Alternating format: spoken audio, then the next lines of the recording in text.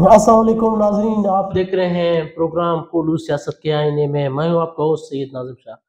नाजरीन हम आज अपने प्रोग्राम में आ, अपने व्यूवर्स से एक दफ़ा फिर गुजारिश करेंगे कि ये जो हमारा प्रोग्राम है ये हमारे यूट्यूब चैनल अपना कोलू पर नशर किया जाएगा। आपसे गुजारिश है उस चैनल को ज़रूर विज़िट कीजिए सब्सक्राइब कीजिए और शेयर कीजिए।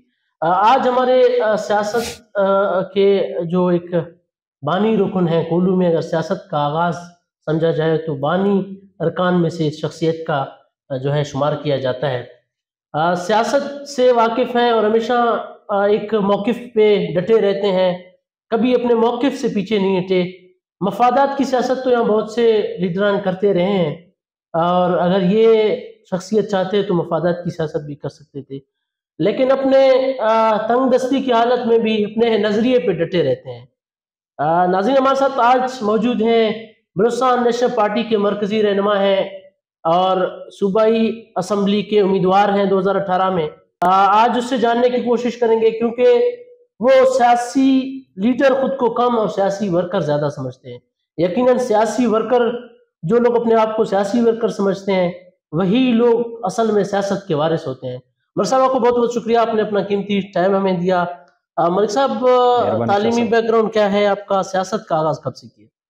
शाह साहब, तालीम में, क्योंकि हम उन्नीस सौ तिहत्तर में हमारा ख़ानदान अफ़गानिस्तान गए थे सात जमाए तक मैंने पश्तो में तालीम हासिल की, थोड़ा फ़ारसी पढ़ा, फिर आए कोयटा, थोड़े वक्त में कोयटा में रहे, फिर कोलू में तालीम मेरा बीए और सियासत का आगाज़, तकरीबन मैंने स्टूडेंट लाइफ से उन्नीस सौ सतानवे में, जब मैंने मॉडल हाई स्कूल इधर पढ़ रहा था तो बी एस मैंने ज्वाइन किया था उस टाइम फिर बी एस से होता वही वही सियासी सफ़र है आज जारी सारी अच्छा मलिक साहब, आप अफ़गानिस्तान तहरीक के भी हिस्सा रहे हैं मेरे ख्याल में। अफ़गानिस्तान का क्या सूरत हाल था? आप कब वहाँ चले गए? वहाँ आपने क्या तालीम हासिल की और कितने अरसे बाद वापस आप पाकिस्तान में अच्छा उस वक्त जो हमारे लोग मरी गए थे उन्नीस सौ बहत्तर, तिहत्तर के दौर में तो मेरा पैदाइश भी कंधार में है, अफ़गानिस्तान में। तो वहाँ मैंने पश्तो में सात जमात हासिल किया। बहुत ज़बरदस्त इलाका था मेहमान नवाज़ थे अफ़गानिस्तान के लोग तो वापसी हुआ उन्नीस सौ बयानवे में कोयटा में. फिर तिरानवे चौरानवे में हम इधर कोलू में आए. तो बस बी एस ओ से सियासत का आगाज़ किया वही कौम परस्ती लाइन पकड़ा. आज तक वही कौम परस्ती की सियासत कर रहे हैं। अच्छा मलिक साहब उन्नीस सौ सतानवे में बी एस ओ ज्वाइन किया और सियासत का आगाज़ भी कोलू से ही किया। कोलू से। उन्नीस सौ सतानवे में कोलू में किसी भी सियासी पार्टी का झंडा लहराना या सियासी नारा लगाना गुनाह कबीरा समझा जाता था। यकीनन प्रेशराइज तो हुए होंगे। बिल्कुल, काफ़ी टाइम शाह साहब, जब हमने सियासत का आगाज़ किया, उस टाइम हमने ज़िला या फिर अपना खोला था पहले पहले तो ये तस्वुर किया जाता था जैसे यहाँ सियासत शजर ममनू है ये तस्वर दिया जाता था जैसे हम कोई आज़ादी पसंद हैं या किसी ऐसी तहरीक के हिस्से हैं। क्योंकि यहाँ सियासत कभी भी नहीं किया गया। यहाँ कबायली बुनियाद पर लोगों को तकसीम किया गया। कबायली बुनियादों पर अपने मफादात ले लिए गए लेकिन लोगों में सियासी शोर कभी नहीं दिया गया। तो इसी वाले से गिरफ्तारियाँ भी हुई। मुझे कई बार गिरफ़्तार होना पड़ा शदोत भी, भी हुआ। लेकिन साबित कदम अभी तक सियासी वर्कर हैं। कोशिश करते हैं कि नज़रियाती सियासत नज़रियात से वाबस्ता रहें। तो इसी सियासत में हम जैसे मिडिल क्लास लोगों की बका इसी में है कि अपने नज़रियात और फ़िक्र फलसफे पर कायम रहे अपने रहबर के। अच्छा मक साहब 2002 में नेशनल पार्टी आपने ज्वाइन की। जी उस वक्त आप नेशनल पार्टी के प्रेसिडेंट भी रहे बाद में और सरगर्म आप लीडर थे नेशनल पार्टी के।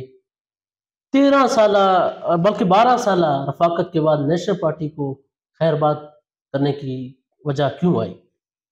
मेरे ख्याल में कुछ नज़रियाती मसले थे जो मैं ब्लोसम नेशनल पार्टी को पढ़ता था, देखता था तो मेरा लगाव इस तरफ़ था, जो मैं समझ रहा था कि मैं यहाँ फिट नहीं हूँ।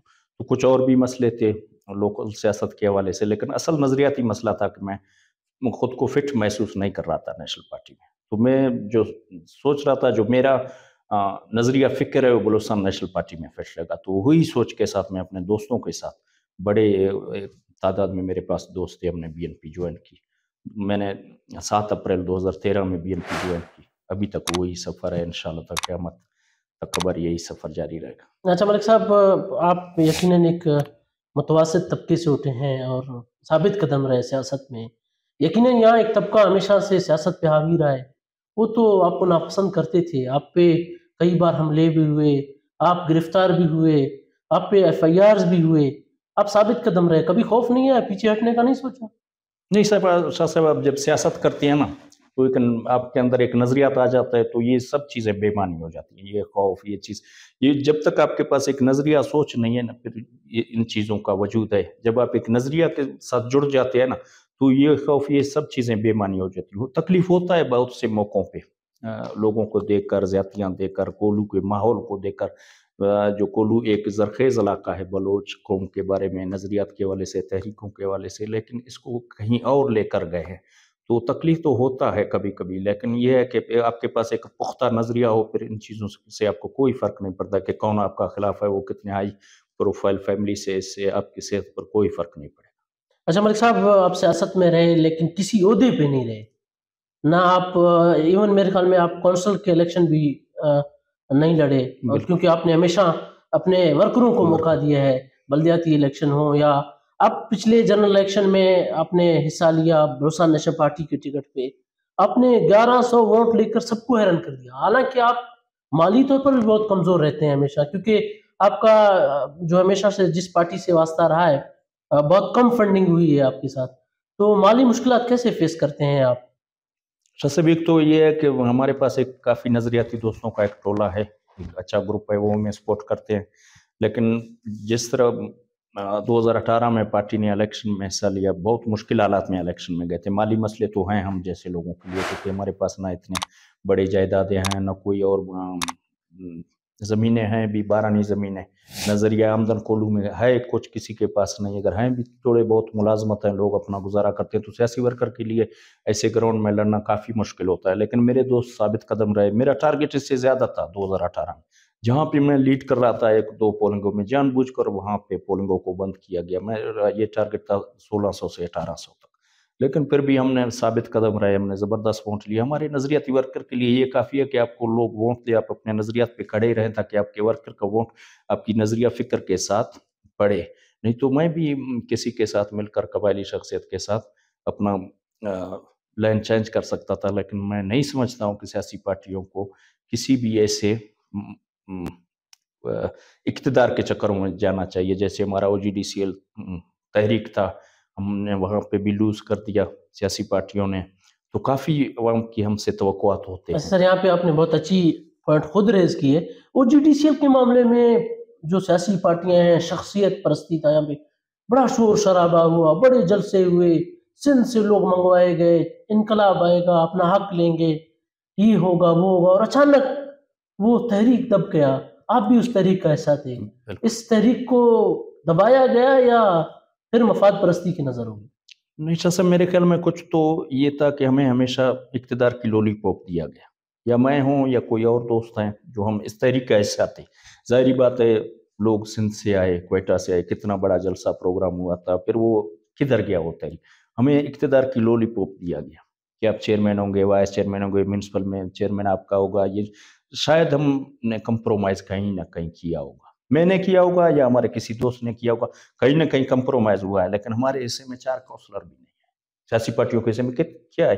तेईस यूनियन काउंसिल है एक यूनियन काउंसिल एक सियासी पार्टी के पास नहीं है। हम्म। हम दावा ये करते हैं हम एम पी ए बनेंगे हम एम एन ए बनेंगे ठीक है हमारे पास वोट है नजरियाती वोट है। हम तो अभी तक एक यूनियन हासिल नहीं कर सके। हम क्योंकि कबायलियत में इस दफ़ा जो नेशनल कौमी पार्टियों ने जो किया ना कबायलियत के साथ एहतियात करके हमने अपना वर्करों का बहुत नुकसान किया। जो इस बल्दियाती में, जो पार्टियों को नुकसान हुआ, मेरे ख्याल में इसका जला काफ़ी अरसे तक रहेगा। क्योंकि हमें म्यूनसिपल या बाकी बाईस, तेईस यूनियनों में कहीं पर भी हमें कबूल नहीं किया गया। किसी भी सियासी पार्टी को, सिर्फ़ बीएनपी नहीं यहाँ और भी सियासी पार्टियाँ हैं तो काफ़ी नुकसान हमें हुआ। हम खुद भी शायद कभी कभी अपना लाइन मिस कर जाते हैं, वो ट्रैक जो असल नज़रिया थी, उसको छोड़ देते हैं ख्वाब देखने लगते हैं दिन में। तो उसका अंजाम यही है कि हमारे पास किसी भी सियासी सब सियासी पार्टियों के पास दो यूनियन काउंसिल नहीं, एक यूनियन काउंसिल नहीं। तो यहाँ सवाल कुछ बनते हैं अच्छा सर, सियासी पार्टियों के हवाले से आपने कहा कि हमारी सियासी पार्टियों ने शख्सियत परस्ती के साथ इत्याद करके खुद को इस सियासी मैदान से हमेशा हमेशा के लिए एक दागदार कर दिया। तो बैसीत भरोसा नेशनल पार्टी आपने नवाबजादा गजैन मरीज़ से इतिहाद की। कुछ अरसे में इतिहाद रहने के बाद आपका इतिहाद टूट गया और फिर आप न्यूट्रल रहे इस प्रोसेस में। ताकि जितने सियासी पार्टियाँ थी आई थिंक किसी ने भी एक काउंसलर का सीट नहीं लिया। वाहिद भरोसा नेशनल पार्टी है जिसने फिर भी बगैर किसी फंडिंग के बगैर इकतदार के होते हुए भी आई थिंक तीन सीटें आपने पाँच सीटें। पाँच सीटें आपने बल्दियात में जीती हैं। नवाबजादा गजैन मरीज़ से इतिहाद करने और उसके बाद एहतियात तोड़ने की क्या वजह बनी? सबसे असल में मैं जो पहले मेरा नवाब साहब के साथ मीटिंग हुआ, सरदार शीत था बी एन पी पश्तूनख्वा आलमरी एहतियात और नवाब गजन हमने एक सेटअप बनाया कि एक ऐसा पैनल बनाते हैं, क्योंकि यहाँ कोलू के ग्राउंड में दो पैनल थे, एक मीर सिबुल्ला खान, एक मीर इसमाइल खान। उसमें भी सियासी पार्टियाँ शामिल थे। तो हमने देखा कि ये बिल्कुल एक दूसरे के वो शदीद तरीन मुखालफत में जाएँगे। तो हमने दरमियान आ रहा ली कि एक और पैनल बनाएँगे, हम इसी राह पे चलेंगे, हम इनका ऐसा नहीं होंगे। तो बाद में चलते चलते जो म्यूनसिपल में मेरे ख्याल में गड़बड़ यहाँ से हुआ, जो म्यूनसिपल में, जिन दोस्त हमारे इत्यादि थे, वो दूसरे इत्यादियों की हिमायत कर गए आखिरी रात में। मजबूरन में भी मुखालिफ ग्रुपों के साथ एहतियात करना पड़ा, क्योंकि जहाँ पर हमारे बीएनपी के वोट थे, हमारे इत्यादि आखिरी रात में उनको मेरे पास, मेरे साथ इधर प्रेस कॉन्फ्रेंस करके मेरे हिमायत करना था, मुझे उनके कुछ वार्डों में उनके, लेकिन उन लोगों ने आखिरी रात में तंबू में था, दोस्तों ने कहा कि उन दोस्तों ने एहतियात की, हमारे मुखालिफ पैनलों के साथ। तो मजबूरन हमने भी एक वार्ड में अपने मुखालिफ पैनल को सपोर्ट किया, वहाँ से गलत फहमी शुरू हुई। फिर वो हम पर इल्ज़ाम लगाते रहे, हम उन पर इल्ज़ाम तो चलते चलते ये हुआ कि हमारा एहतियात तकरीबन ख़त्म है। एक एहतराम का रिश्ता है नवाब साहब के पास तमाम कोलू के सियासी कबायली शख्सियत के साथ मैं कोशिश करता हूँ कि सबके साथ एहतराम का एक रिश्ता ताल्लुक रहे लेकिन अभी हमारा सियासी अलायंस इस वक्त बलोसा नेशनल पार्टी का किसी के साथ नहीं। अच्छा सर बल्दियाती इलेक्शन में ward number one municipal committee का जो है वो जो काउंसलर बना है वो आपके ज़्यादातर वोटों की अक्सरियत आपका था। तो आप पछताते होंगे इसको इलेक्ट करते हैं? हाँ जो आखिरी में शाह साहब जो मखसूस नशस्तें थी जो एक इस्टाम हुआ जो हमें उस मरले से आउट किया गया तो वर्कर सवाल करते हैं कि हम कहाँ पे कड़े हैं? हमारा ये मुआदा था कि जहाँ पे हम काउंसलर लाएँगे, मख... जिस पार्टी का काउंसलर आएगा इत्यादियों में, मखसूस दूसरे इत्यादियों को देंगे। लेकिन आखिर में हमें किसी ने एतमाद में लेना, गवारा नहीं किया। फिर हमने एहतजाजन उसी जो म्यूनसिपल के वाले से प्रोग्राम तय हुआ था हमने एहतजाजन उसका बाइकाट किया। इसके बाद आपने बहुत से ग्रुपों में देखा मेरे खिलाफ लिखा गया हाँ, इसके म्यूनसिपल हाँ। के साथ ताल्लुकात ये है वो है। तो ये फिर सियासी वर्कर के लिए मुश्किल होता है ऐसे मरले में किसी के साथ चलना। वो हमारा फोरम था फोरम में हमने ये चीज़ें रखी कि भाई यहाँ कुछ गलत हो रहा है तो इसको बैठ कर सही करते हैं। लेकिन बैठने के बजाय दोस्तों ने इसको कहीं और कैच लिया तो वही सिलसिला बना। हमारे मेरे ख्याल में कुछ कस की जिम्मेदारियाँ भी हमारे ऐसे फैसलों पे होते हैं, जो डिस्ट्रिक्ट में हो या म्यूनसिपल में हो, कि हमने कभी एक दूसरे को एतमाद में नहीं लिया। जो भी फैसला मेरे मन में आया, मैंने कहा, ये है। फिर किसी को मैंने ये हक नहीं दिया कि आप इस पर सवाल नहीं उठा सकते। ये नहीं है कि नवाब साहब या किसी फर्द शख्स वाहिद शख्स ने किया। जिसने भी जो फैसला किया, वही कहा कि अभी ये फैसला है तो आप सब इसी फैसले पर चलेंगे। कभी भी हमने मिल बैठकर कोई फैसला नहीं किया। आखिर में आपने देखा कि कितने लोग थे वाइस चेयरमैन के लिए, डिस्ट्रिक्ट के लिए, वही काउंसलर कहाँ उड़ गए? वहाँ तो सियासी पार्टियाँ नहीं थी। इल्ज़ाम तो हम पर लगते हैं सियासी पार्टियों पर आखिर में जो वोट थे किसके वोट गए? कहाँ पे वो वोट गए? वहाँ तो सियासी पार्टियाँ नहीं थी। तो ऐसे तकलीफ़ तो होता है शाह साहब। फिर सियासी पार्टी वर्कर तो सवाल करते हैं। न्यूक्ली में मेरा तो वोट नहीं है। न मैं न्यूक्ली में अपना इंदराज करूँगा। मैं तो तंबू से हूँ। वहाँ पे मैंने इलेक्शन लड़ा अपने वार्ड से अपने घर के वार्ड से अपने एक मिडिल क्लास वर्कर को मैंने कामयाब करवाया। हमारे तो सब कुछ सरमाया यही वर्कर है। जब ऐसे फैसलों में हमें नज़रअंदाज किया जाता है तो हमारे पार्टियों में इंतज़ार बढ़ता है। और आज आपको नज़र आ रहा है जो पार्टियाँ आज कल टूट फूट के शिकार है। यही कबायली मोतबरीन के साथ मोजीन के साथ जो इतिहाद था सियासी पार्टियों का ये बहुत गलत फैसला था। मेरे नज़दीक कम अज़ कम हमारे वर्करों ने इनको तस्लीम नहीं किया। हमारे फैसलों को उन्होंने रद्द किया। अच्छा सर बहुत से जो कॉम्प्रस पार्टियाँ हैं हिंदुस्तान की वो हमेशा से अपने कॉम्प्रस्ती के नारे पर मुफादात लेते हैं। कोलू के अगर हवाले से हम बात करें तो बलोच से, बहुत से कॉम्प्रस पार्टियाँ अपने बयानिया से हट गए। वो बिलवास्ता या बिलावास्ता कहीं ना कहीं जाके उनके दौरे मिल जाती हैं।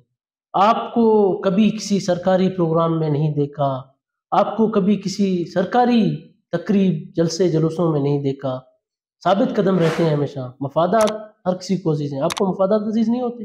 या अपने नज़रियात अज़ीज़ है आप? शाह साहब, अगर मैं सियासत कर रहा हूँ, मेरे पास पाँच छः सौ वर्कर हैं, हमारे यूनिट्स हैं। वो मेरे, मुझे अपना लीडर समझकर मेरे साथ चल रहे हैं, या और हमारा ज़िला काबिना अगर हम इन चीज़ों को छोड़कर सरकारी महफिलों का रौनक बने तो मेरे ख्याल में हम फिर सियासत नहीं कर रहे हैं। मैं तो खुद ये समझता हूँ, फिर हमें हक नहीं है। खुद को सियासी वर्कर कहना कि हम सियासी वर्कर यही तो कबाइलियत कर यही तो कबाइली लीडर कर रहे हैं, कबायली मुआजिन कर रहे हैं। अगर हम भी ये करें, फिर सियासत का क्या फ़ायदा है? हमारा एक अपना नज़रिया, एक सोच है, ठीक है, हम नहीं जीत सकते, ना जीते। लेकिन हम लड़ेंगे, मुकाबला करेंगे, मैदान है। तो मैं भी इस चीज़ को छोड़कर, इसी प्रोग्रामों का हिस्सा बनूँ तो वर्कर कहाँ जाएँगे शायद तो शायद मैं कुछ मुफादात ले सकूँ, लेकिन जो अहम एक वर्कर का उम्मीद है, पार्टी से, पार्टी के नज़रिया से, तीन रंगा झंडे से तो वो वर्कर कहाँ खड़ा है? फिर मैं कहाँ खड़ा हूँ? अगर मुझे कबायलित करना ठीक है मैं भी एक सरकारी मिलक वडरा बन सकता हूँ सरकार के प्रोग्रामों में जा सकता हूँ। तो फिर उनके सरकारी के भी कुछ असूल होते हैं। यहाँ तो ना कानून है ना असूल है। मेरे ख्याल में सियासी वर्कर को कम अज कम अपने नज़रिए के साथ खड़ा रहना चाहिए। इसी में उसका इज़्ज़त है। मेरे नज़दीक यही है।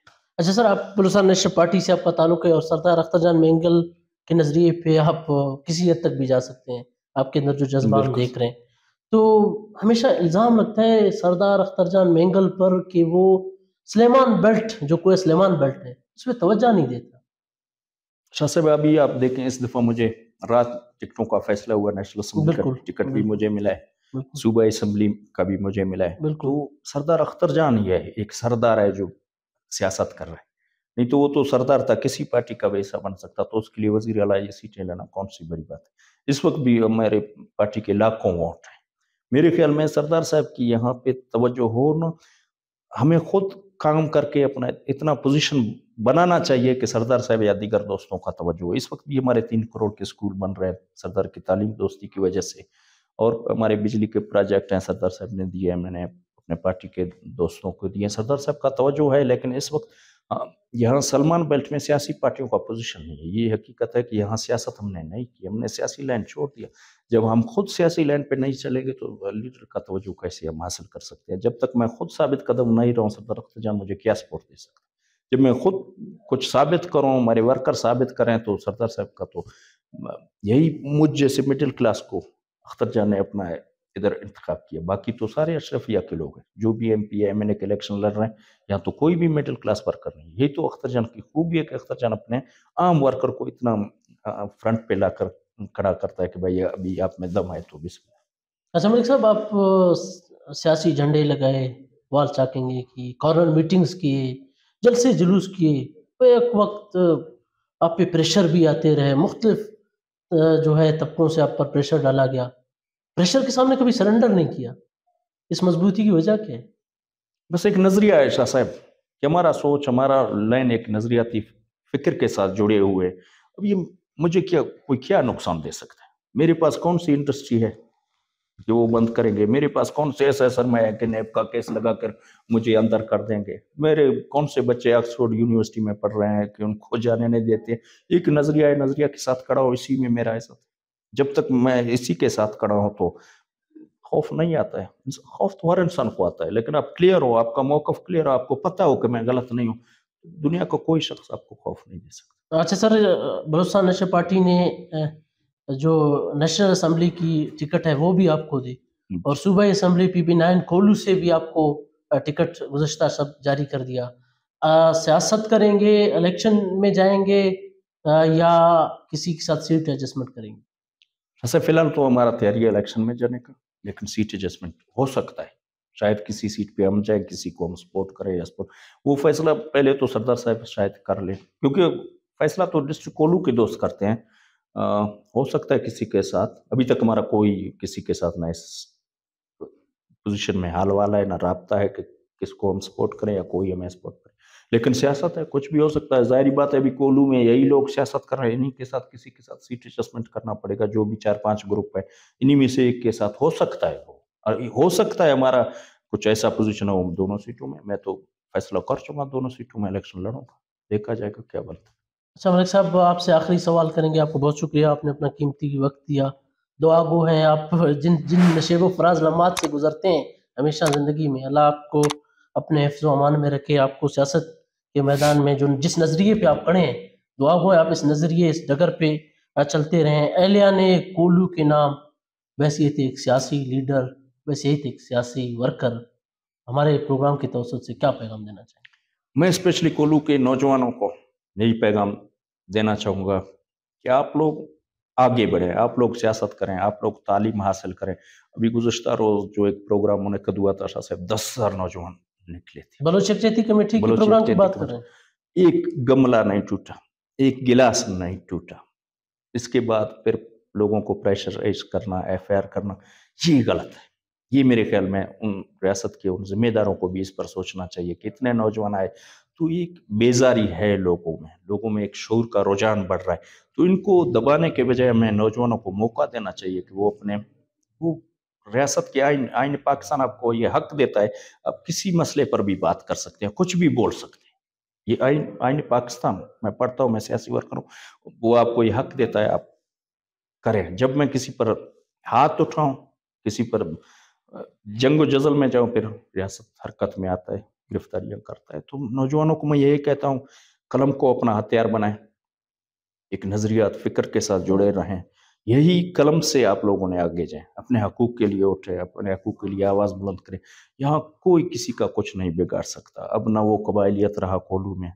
जो लोग समझते थे, आम मरी गदला पानी पीते हैं, जोहड़ों से हमारे मजदूरों को मिनरल वाटर देते हैं, वो जाते हैं अपने बच्चों को, एक वक्त में गंदम की रोटी नहीं दे सकते, उनके लिए सजिया रखते हमारी माएँ, बहनें आई, हमारी उस दस्तर का क्या इज़्ज़त रह गया, हम उनके सरों पर चादर नहीं रख सकते हम कोई जंगी महाज पर तो नहीं थे, वो हमारे मेहमान थे, एक दिन में आए वापस गए उसको भी इशू बनाकर आगे हालात खराब करना मेरे ख्याल में ये मैं उन तमाम इदारों से यही गुजारिश करूँगा कि कोलू को खुशहाली की राह पे चलना है तो लोगों को अपने फैसले खुद करने दें, इलेक्शन में लोगों को खुद अवाम का मर्ज़ी है जिसको मुंतखब करते हैं। तब हम जाकर एक खुशहाल डिस्ट्रिक्ट, एक आज़ाद सोच वाले कौम बन सकते हैं। नहीं तो इसी तरह इस्टेब्लिशमेंट जिसको भी लाता है वो कौम का लीडर नहीं होता है।